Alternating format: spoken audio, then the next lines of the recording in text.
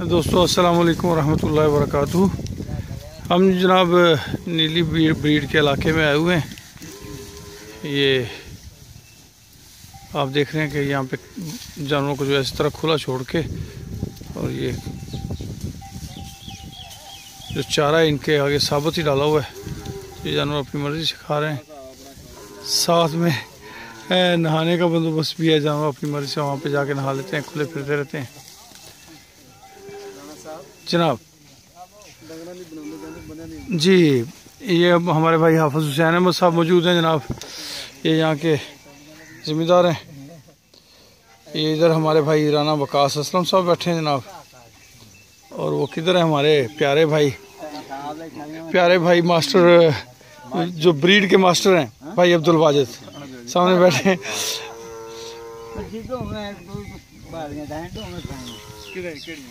Ayan, makikigil natin.